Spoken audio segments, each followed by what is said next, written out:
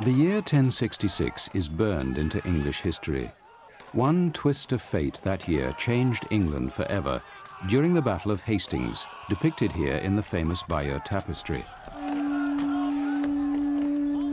A foreign dynasty rose to rule England, but after two other twists of fate, the family came to an abrupt and catastrophic end.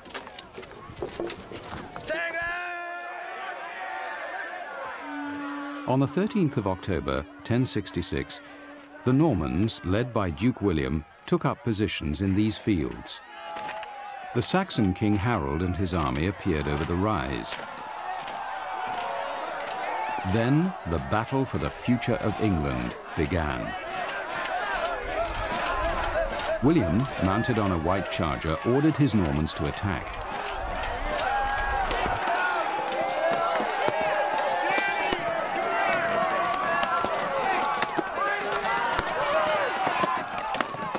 But they couldn't break the Saxon line.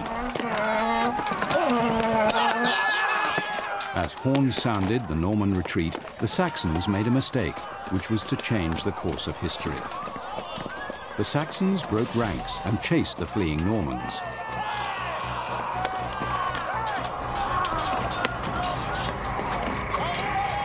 William saw his opportunity and wheeled his cavalry round, smashing into the Saxon line.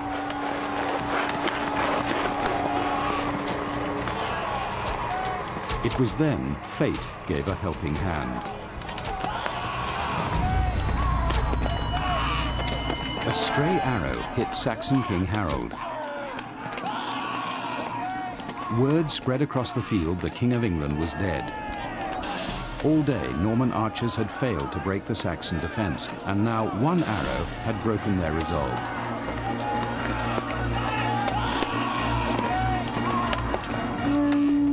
The Saxon line melted away as Harold's bodyguards stayed with their dying king, but they were slaughtered to a man.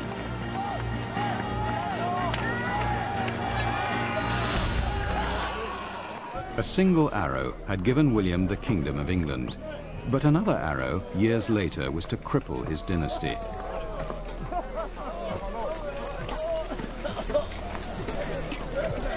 Knowing a crown won in combat could easily be lost in another battle, William ruled his new kingdom with an iron fist. He was intent on crushing the Saxons and establishing a Norman dynasty to dominate England for centuries. Wherever he encountered resistance to his rule, he unleashed a whirlwind of terror. His army swept into the English heartland and destroyed everything, villages, fields and families. With his power consolidated and his dynasty firmly rooted, William the Conqueror repaid the knights who had backed his campaigns. Saxon lords and bishops were replaced with Normans who crushed any resistance. The Normans forced the Saxons into serfdom to build monuments to William's dynasty. The old Saxon culture of wood and wattle was swept away and replaced with hard stone. Looming over the landscape, the towers were a constant reminder that England was under Norman domination. For 20 years, William the Conqueror held the kingdom in his grip. The Norman dynasty was unassailable by the time he died in 1087. He had sired two sons, William Rufus and Henry. William Rufus, the elder, took the throne. Called Rufus because of his ruddy complexion, the new Norman king was as ruthless and violent a ruler as his father. But unlike his father, he disdained the dreary details of ruling Instead, he preferred to hunt with old friends such as Walter Tyrrell, who was destined to play a critical role in the future of the Norman dynasty. Rufus stayed in power until the year 1100, which marked the beginning of the end for a royal dynasty that seemed set to rule forever. The first year of the new century was full of ill omens. The chronicle for that year recorded that a well ran red with blood. Devils were seen in the forest. A priest had a vision of Rufus standing before the throne of God and being condemned to hell. And the abbot of Shrewsbury preached a damning and prophetic sermon about the king. Behold, the bow of divine wrath is drawn against the sinner, and the arrow swift to wound has been taken from the quiver. Soon now it will strike. Never a fervent believer, the king shrugged off the omens. Instead, William Rufus took his brother Henry and his friend Walter Tyrrell to the forest for the stag hunting season. At the beginning of August, the king and his party were making their final plans for the hunt. The king had just been presented with six new arrows of unusual strength. William Rufus examined them and handed two to his friend Walter Tyrrell. Well, Tyrrell, as you are the finest marksman, you shall have the finest arrows. Hello. Make each one of them count.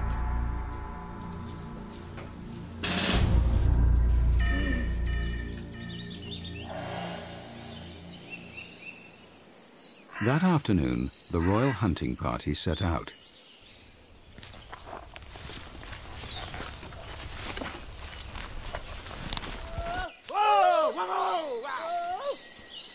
As the beaters drove the deer towards the woods, the king and Tyrrell took up shooting positions and notched their arrows in readiness.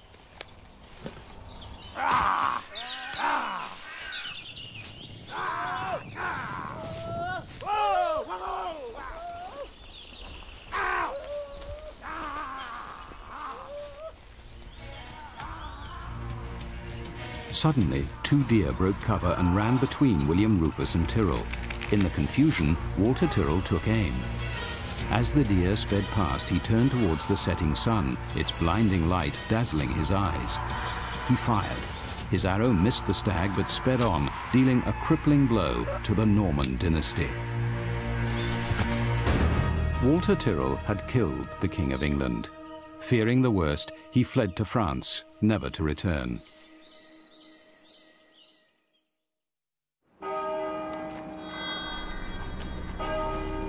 After his death, William Rufus's body was taken to Winchester and buried here under the tower of the cathedral.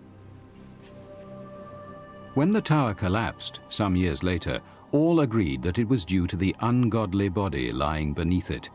And to this day, no one is sure whether King William Rufus's death was an accident or murder. Continuing the Norman dynasty, William Rufus's brother Henry took the crown. Unlike his brother, he turned out to be a just and popular ruler. But fate was plotting against him too. Twenty years after taking the throne, King Henry was on the French coast, preparing to sail back to England. Traveling with the king was his son, next in line to the Norman dynasty.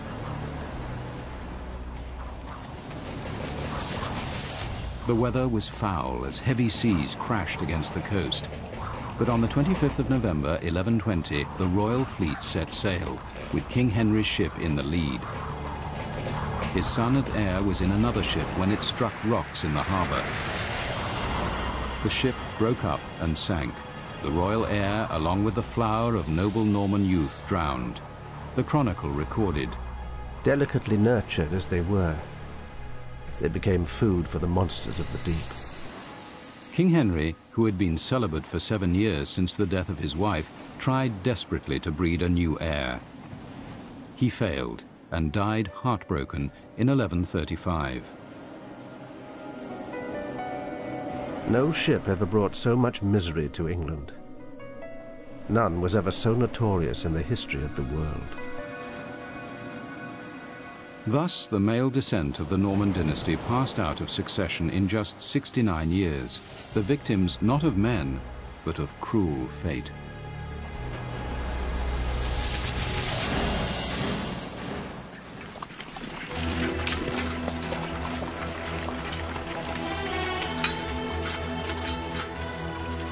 While William the Conqueror fought his way to the throne of England, Catherine de' Medici was rumored to have poisoned her way to the throne of 16th century France.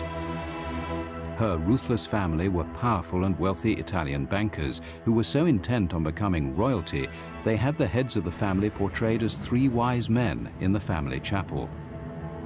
The Medici's headquarters was Florence, where they had ruled for generations, but they also had connections in Rome. In 1533, Pope Clement VII, also a Medici, arranged for his niece, 14-year-old Catherine, to marry Henry, the younger son of the King of France.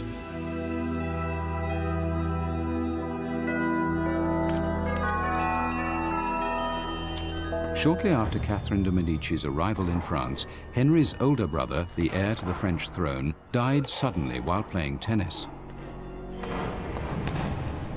The official cause of death was a chill, but rumors circulated he had been murdered by Catherine. The Italians were notorious poisoners, and the death cleared the way for her to become Queen of France. Henry became king, but Queen Catherine bore him no children for 10 years. She then suddenly produced six babies in as many years. Many believed she had used witchcraft to gain fertility. Catherine was fascinated by the occult and built a special tower here at Chaumont Castle, where she consulted the famous astrologer Nostradamus. His predictions did not bode well for the Medici dynasty. On a field of combat, he will pierce his eye in a golden cage. Catherine's husband, King Henry II, died when a lance pierced his eye in a jousting tournament. Her oldest son, Francis, became king, but fell ill within a year. Will die of sorrow, sad and thin. He rapidly succumbed to an ear infection and died, leaving Catherine's second son, Charles, to succeed to the throne. But he was weak, unbalanced, and dominated by his mother. His skin will be stained. In 1574, the young king died in agony, sweating blood. Once again, it was rumored Catherine poisoned him to free the throne for her favorite, youngest son, Henry. A coffin is placed in the royal vault. Henry III was fatally stabbed by a fanatical monk in 1589. Her children in trouble and distress. Nostradamus's final prediction was that the French throne would pass from Medici control out of the family. The sudden death will put another in the kingdom. With all Catherine's sons dead, the prophecy came true, and the throne passed to the next in line, Henry of Navarre. When Catherine herself died in the same year, all seemed lost for the Medicis, but the ruthless family was not finished. The new King Henry's fiancée, Gabrielle, died mysteriously of violent stomach pains. It was rumored that she too had been poisoned. A few weeks later, Henry received an offer from the Medicis to take the wealthy Marie de' Medici as his new queen. Catherine was dead, but the Italian family revived their reputation as scheming poisoners out to establish a royal dynasty. Marie quickly gave birth to a baby boy who would become Louis XIII of France. For another 200 years, the Medici's descendants ruled France until the revolution and the guillotine put an end to monarchy there.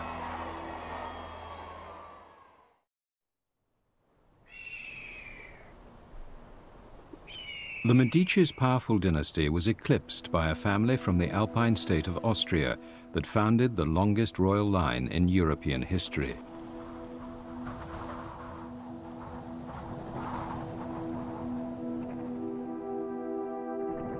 But in the seed of the dynasty's beginning was the germ of its eventual destruction. The obscure noble family rose to royal status to become the powerful kings of the Austrian Empire. They were the Habsburgs. A double-headed eagle was their emblem, and their motto became, Let others wage war, but you happy Habsburgs, marry. While other royal families made war to gain power, the Habsburgs made love to expand their power. The dynasty was founded in 1271 in the small state of Austria the first Habsburg kings were rulers with more ambition than power and wealth.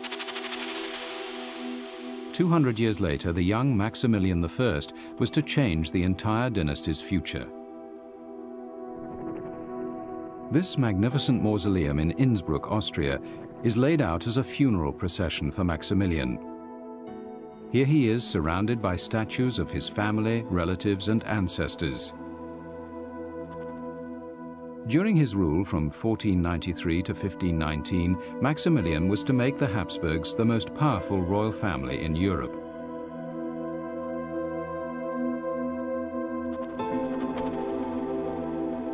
But he never knew that at the same time he was sowing the seeds for their ultimate destruction.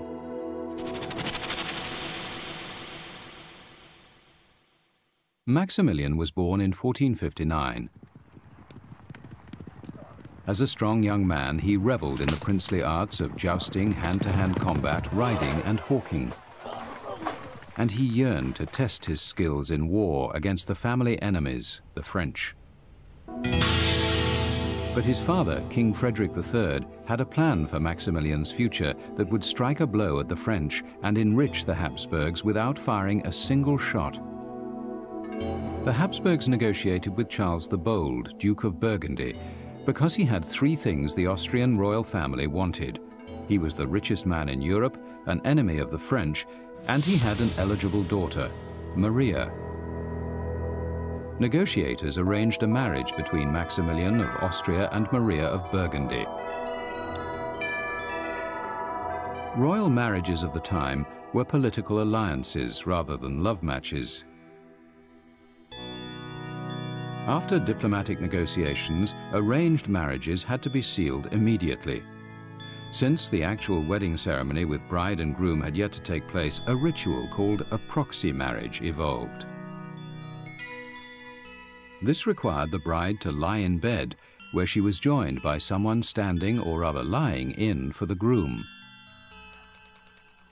To show his lusty intentions, the anonymous stand-in groom bared a leg, but to keep the bride chaste, the stand-in remained clad in full armor.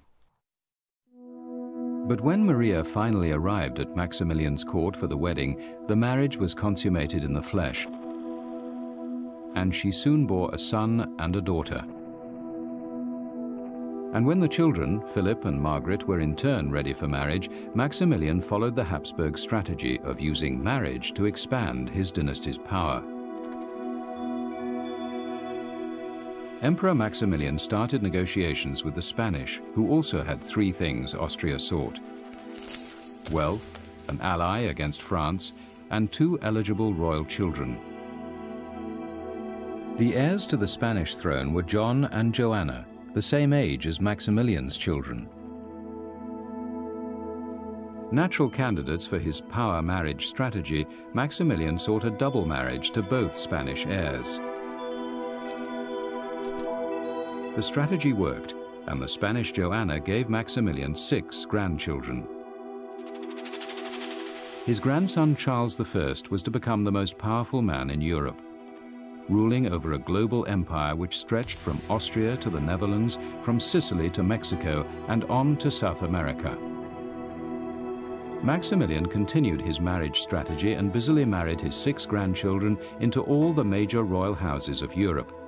His court became a veritable royal breeding service, and with each marriage his empire grew in power, size and wealth. All Maximilian's granddaughters became queens. Maria was Queen of Hungary. Eleanor got France. Elizabeth got Denmark. And Catherine got Portugal. He even arranged for a daughter-in-law to marry the King of England, completing his royal flush the Habsburg dynasty accomplished the astonishing expansion of their empire not by conquest, but by marriage. But the supply of eligible royals was running out. To hold on to their power at all costs, the Habsburgs instituted a new policy, marry within the family. The result was biological disaster. Unknown to anyone, a genetic time bomb was already planted in the Habsburg dynasty. The Spanish Joanna, whose six children started the marriage frenzy, eventually went insane, and her madness was hereditary. The seeds of mental illness had been transmitted to all six of her children, the inheritors of the Habsburg dynasty. At the same time, a physical genetic defect was emerging in the ever-expanding family, the Habsburg chin. Maximilian and many of his relatives had very pronounced lower jaws and lips. Charles I, his all-powerful grandson, had a chin which protruded so far his lower teeth could not meet his uppers. Madness and the Habsburg chin were now carried by marriage to every branch of the Habsburg dynasty and into the royal families of Europe. The genetic nightmare had begun. As Habsburg married Habsburg, inbreeding produced generation after generation of freakish mutants, many suffering from insanity.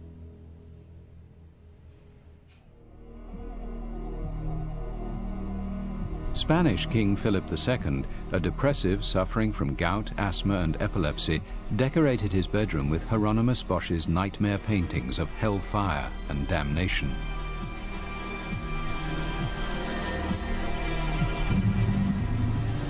Austrian Rudolf II went insane and was forced from the crown by his brother Matthias.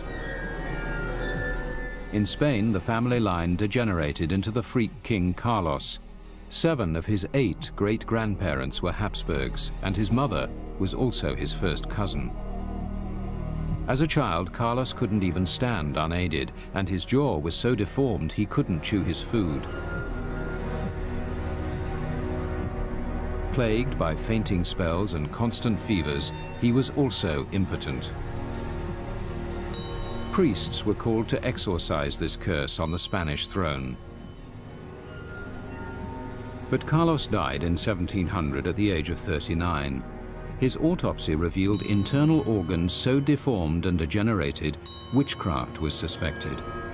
He is remembered as Carlos the Bewitched. On his death, the crown of Spain was snatched by the old Habsburg rival, France. The genetic curse of the Habsburgs ruined Maximilian's plans and brought the Spanish line to a crashing end. But the remaining Habsburgs continued to intermarry, unaware it was the root of all their troubles. Though the Habsburg dynasty stayed in power in Austria for another 200 years, the happy Habsburgs, who had spread their dynasty all across Europe without firing a single shot, were felled by their own genes.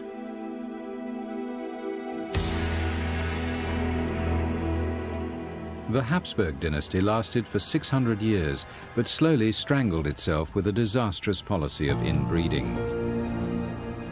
Fate cut short the Normans after just 70 years, whilst the Medici's schemes to enter the French royal bloodline finally succeeded. No matter how powerful the royal family, time was sure to humble even the most mighty of dynasties.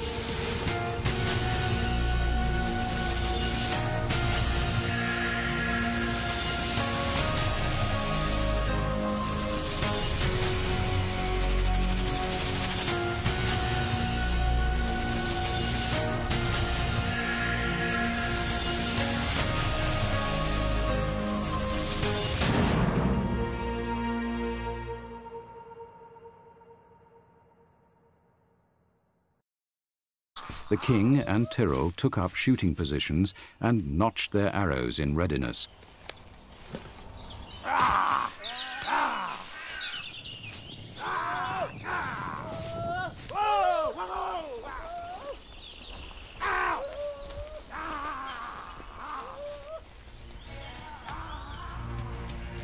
Suddenly, two deer broke cover and ran between William Rufus and Tyrrell.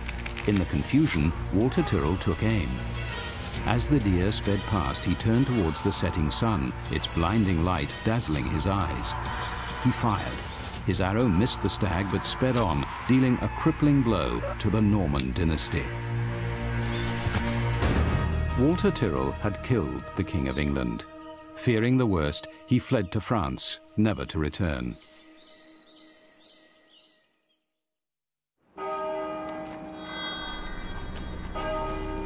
After his death, William Rufus's body was taken to Winchester and buried here under the tower of the cathedral.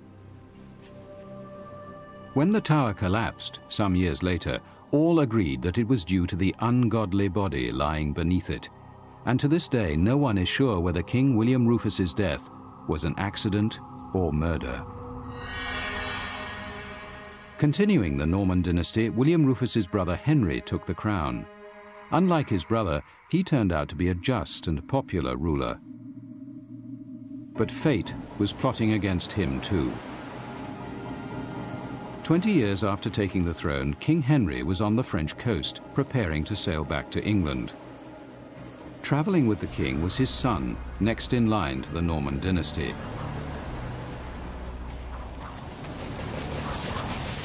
The weather was foul as heavy seas crashed against the coast. But on the 25th of November, 1120, the royal fleet set sail, with King Henry's ship in the lead. His son and heir was in another ship when it struck rocks in the harbour. The ship broke up and sank. The royal heir, along with the flower of noble Norman youth, drowned. The chronicle recorded.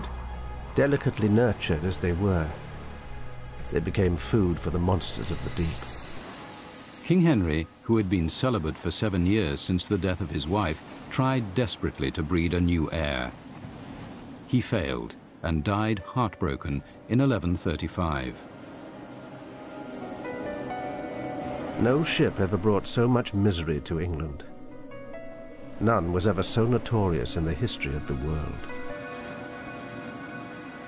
Thus, the male descent of the Norman dynasty passed out of succession in just 69 years, the victims not of men, but of cruel fate. The old Saxon culture of wood and wattle was swept away and replaced with hard stone. Looming over the landscape, the towers were a constant reminder that England was under Norman domination. For 20 years, William the Conqueror held the kingdom in his grip. The Norman dynasty was unassailable by the time he died in 1087. He had sired two sons, William Rufus and Henry. William Rufus the elder took the throne.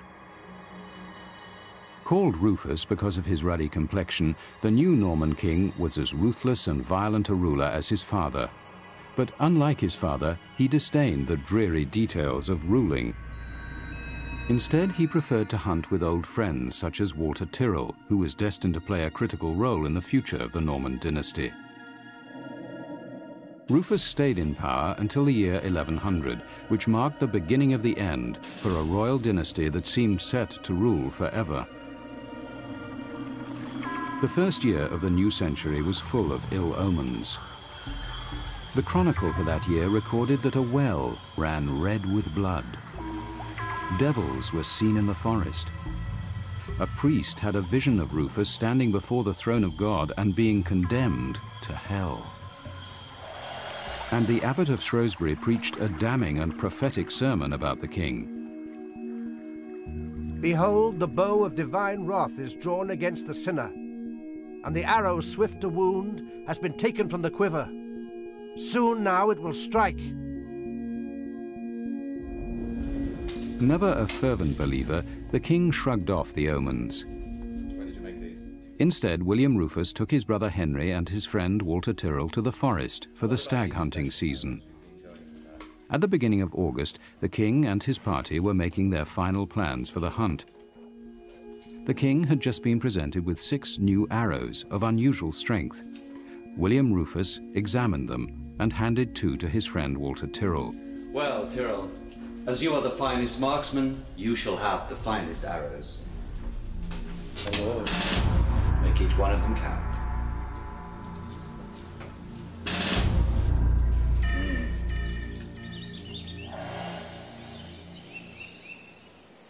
That afternoon, the royal hunting party set out.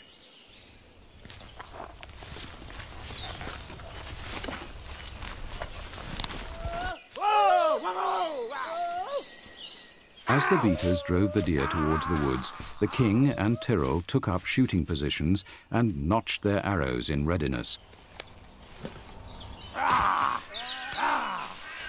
1459. As a strong young man, he revelled in the princely arts of jousting, hand-to-hand -hand combat, riding and hawking. and he yearned to test his skills in war against the family enemies, the French. But his father, King Frederick III, had a plan for Maximilian's future that would strike a blow at the French and enrich the Habsburgs without firing a single shot. The Habsburgs negotiated with Charles the Bold, Duke of Burgundy, because he had three things the Austrian royal family wanted. He was the richest man in Europe, an enemy of the French, and he had an eligible daughter, Maria. Negotiators arranged a marriage between Maximilian of Austria and Maria of Burgundy. Royal marriages of the time were political alliances rather than love matches. After diplomatic negotiations, arranged marriages had to be sealed immediately. Since the actual wedding ceremony with bride and groom had yet to take place, a ritual called a proxy marriage evolved. This required the bride to lie in bed, where she was joined by someone standing or rather lying in for the groom. To show his lusty intentions, the anonymous stand-in groom bared a leg, but to keep the bride chaste, the stand-in remained clad in full armor. But when Maria finally arrived at Maximilian's court for the wedding, the marriage was consummated in the flesh. And she soon bore a son and a daughter. And when the children, Philip and Margaret, were in turn ready for marriage, Maximilian followed the Habsburg strategy of using marriage to expand his dynasty's power. Emperor Maximilian started negotiations with the Spanish, who also had three things Austria sought. Wealth, an ally against France, and two eligible royal children. The heirs to the Spanish throne were John and Joanna, the same age as Maximilian's children. Natural candidates for his power marriage strategy, Maximilian sought a double marriage to both Spanish heirs. The strategy worked, and the Spanish Joanna gave Maximilian six grandchildren. His grandson Charles I was to become the most powerful man in Europe, ruling over a global empire which stretched from Austria to the Netherlands, from Sicily to Mexico, and on to South America. Maximilian continued his marriage strategy and busily married his six grandchildren into all the major royal houses of Europe his court became a nightmare had begun. As Habsburg married Habsburg, inbreeding produced generation after generation of freakish mutants, many suffering from insanity.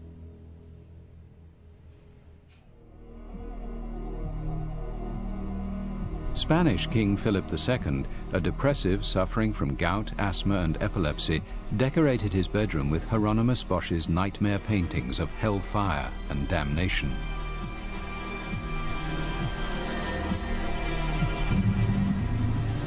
Austrian Rudolf II went insane and was forced from the crown by his brother Matthias. In Spain, the family line degenerated into the freak king Carlos. Seven of his eight great-grandparents were Habsburgs, and his mother was also his first cousin. As a child, Carlos couldn't even stand unaided, and his jaw was so deformed he couldn't chew his food. Plagued by fainting spells and constant fevers, he was also impotent. Priests were called to exorcise this curse on the Spanish throne. But Carlos died in 1700 at the age of 39. His autopsy revealed internal organs so deformed and degenerated, witchcraft was suspected. He is remembered as Carlos the Bewitched, on his death, the crown of Spain was snatched by the old Habsburg rival, France. The genetic curse of the Habsburgs ruined Maximilian's plans and brought the Spanish line to a crashing end. But the remaining Habsburgs continued to intermarry, unaware it was the root of all their troubles. Though the Habsburg dynasty stayed in power in Austria for another 200 years, the happy Habsburgs, who had spread their dynasty all across Europe without firing a single shot, were felled by their own genes.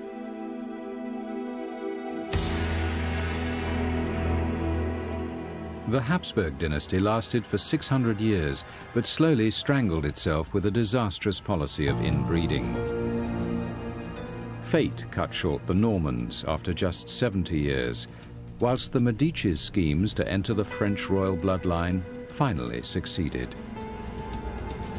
No matter how powerful the royal family, time was sure to humble even the most mighty of dynasties.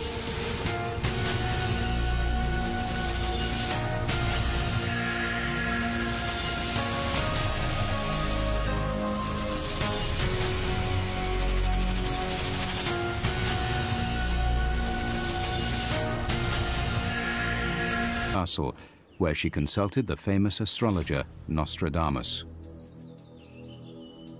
His predictions did not bode well for the Medici dynasty. On a field of combat, he will pierce his eye in a golden cage. Catherine's husband, King Henry II, died when a lance pierced his eye in a jousting tournament. Her oldest son, Francis, became king, but fell ill within a year. Will die of sorrow, sad and thin. He rapidly succumbed to an ear infection and died, leaving Catherine's second son, Charles, to succeed to the throne. But he was weak, unbalanced, and dominated by his mother. His skin will be stained. In 1574, the young king died in agony, sweating blood. Once again, it was rumored Catherine poisoned him to free the throne for her favorite, youngest son, Henry. A coffin is placed in the royal vault. Henry III was fatally stabbed by a fanatical monk in 1589. Her children in trouble and distress. Nostradamus's final prediction was that the French throne would pass from Medici control out of the family. The sudden death will put another in the kingdom. With all Catherine's sons dead, the prophecy came true, and the throne passed to the next in line, Henry of Navarre. When Catherine herself died in the same year, all seemed lost for the Medicis, but the ruthless family was not finished.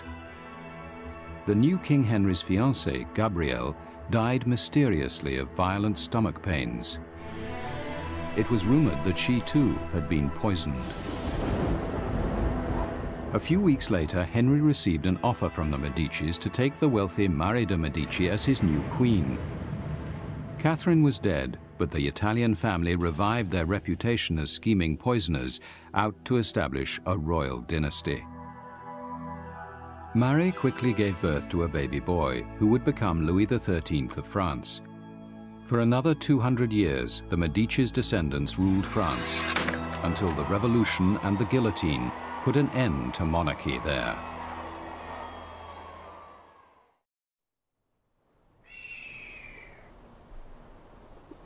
The Medici's powerful dynasty was eclipsed by a family from the Alpine state of Austria that founded the longest royal line in European history.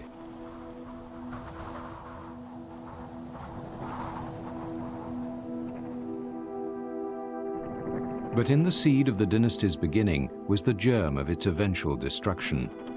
The obscure noble family rose to royal status to become the powerful kings of the Austrian Empire. They were the Habsburgs. The official cause of death was a chill, but rumors circulated he had been murdered by Catherine. The Italians were notorious poisoners, and the death cleared the way for her to become Queen of France. Henry became king, but Queen Catherine bore him no children for ten years. She then suddenly produced six babies in as many years. Many believed she had used witchcraft to gain fertility. Catherine was fascinated by the occult and built a special tower here at Chaumont Castle, where she consulted the famous astrologer Nostradamus. His predictions did not bode well for the Medici dynasty. On a field of combat, he will pierce his eye in a golden cage. Catherine's husband, King Henry II, died when a lance pierced his eye in a jousting tournament. Her oldest son, Francis, became king, but fell ill within a year. Will die of sorrow, sad and thin. He rapidly succumbed to an ear infection and died, leaving Catherine's second son, Charles, to succeed to the throne. But he was weak, unbalanced, and dominated by his mother. His skin will be stained. In 1574, the young king died in agony, sweating blood. Once again, it was rumored Catherine poisoned him to free the throne for her favorite, youngest son, Henry. A coffin is placed in the royal vault. Henry III was fatally stabbed by a fanatical monk in 1589. Her children in trouble and distress. Nostradamus' final prediction was that the French throne would pass from Medici control out of the family. The sudden death will put another in the kingdom. With all Catherine's sons dead, the prophecy came true, and the throne passed to the next in line, Henry of Navarre. When Catherine herself died in the same year, all seemed lost for the Medicis, but the ruthless family was not finished. The new King Henry's fiancée, Gabrielle, died mysteriously of violent stomach pains. It was rumored that she too had been poisoned. A few weeks later, Henry received an offer from the Medicis to take the wealthy Marie de' Medici as his new queen. Catherine was dead, but the Italian family revived their reputation as scheming poisoners out to establish a royal dynasty. Marie quickly gave birth to a baby boy who would become Louis XIII of France. For another 200 years, the Medici's descendants ruled France until the revolution and the guillotine put an end to monarchy there.